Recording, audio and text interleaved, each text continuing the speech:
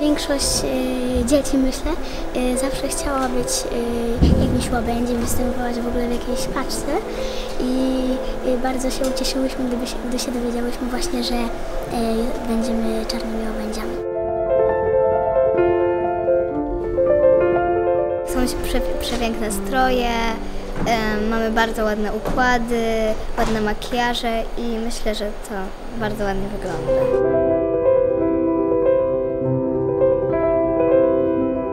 Zawsze przy stresie towarzyszy nam też radość, ponieważ możemy występować w spektaklu i to jest chyba takie najlepsze ze wszystkiego. Tak, najlepsze. Tak.